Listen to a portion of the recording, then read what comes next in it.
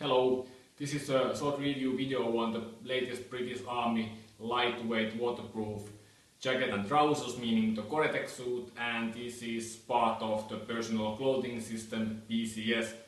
And as this is uh, mentioned as lightweight, the weight of the trousers is 415 grams and the jacket weighs approximately 450 grams in size XL. So yes, it is relatively light, at least if you compare it to other military style Gore-Tex suits.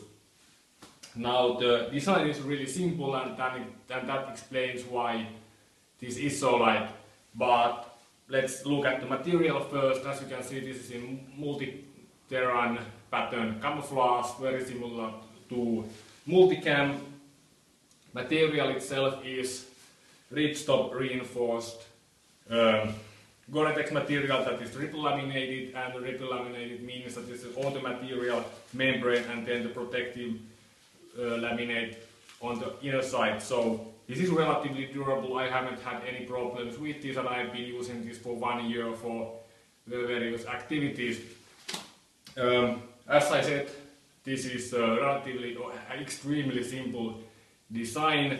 There is no reinforcements in knee section, in the elbow section, on the shoulders or anywhere else. It's just plain material all around and that is the one reason why this is so lightweight. The other reason is that there isn't really any pockets in the chest area or in the trousers. The only pockets you will get are the ones in the sleeves and they are actually quite nice and only pockets with velcro closure and there's a pocket on one on each arm. And there is a rank tab in the front um, and there is no hood. So that is a really big downer if you are in a heavy rain for extended periods of time.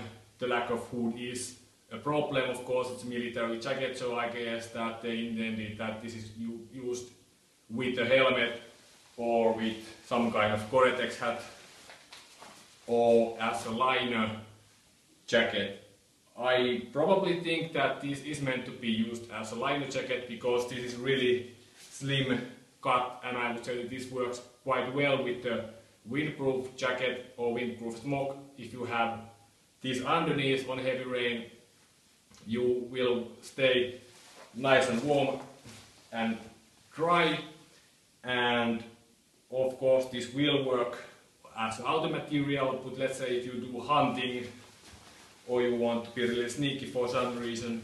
This is a little bit hissy material and having the windproof smock on top of this one will take rid of, get rid of the hissing noise also. If you have the smock on top of this one, you of course you have the pockets of the smock.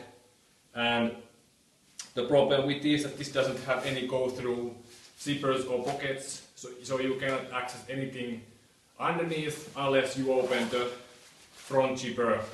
That's a little bit tricky if it's, you know, heavy rain. And on the jacket, on the cuffs, we have a Velcro tightening mechanism, really simple. And then on the waistline, there is a tightening pull cord. And of course, yeah, the collar is actually quite nice and high. And there is a fleece lining so that is really comfortable and nice, but I would prefer that there would be the hood. And if you want to ventilate, if it's too hot, we have a little ventilation zip in the armpits. And the front zipper is supposed to be watertight zipper and I would say that is there is a little problem that for some reason they have put this little uh, flap of material on top of the zipper and sometimes this is really snacky as you can see immediately. Um, it snaps and if you are in a hurry okay it, it's not there that pleasant. Also the same thing with the zippers on the arm bits. Sometimes they do snap unless you can hold the cuff and it's still a little bit, little bit tricky to use. Otherwise the jacket is fine. Um, what comes to the trousers, there isn't any pockets in the trousers. There is some ribbing on the waistline and a pull cord tightening mechanism. And then we have a Velcro tightening on the ankle.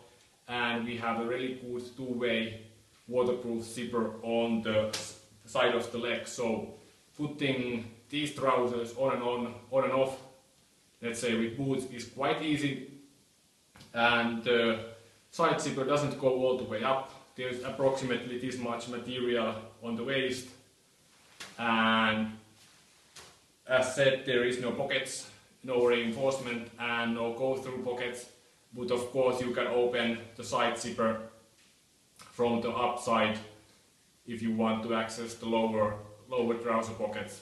Now these are easily available from eBay currently and other army surplus stores and it seems the prices go from everywhere from 40 to 40 and 50 euros to 100 euros for one set of uh, suit and of course it's e magical wonderland of eBay so well it's a buyer's market. If you get one cheaply I would say that it is worth of buying especially if you are going to use this as a liner jacket as um, let's say on, on the outer, outer layer. This is a little bit questionable because there isn't any pockets and there isn't a hood but well you can decide. That's about it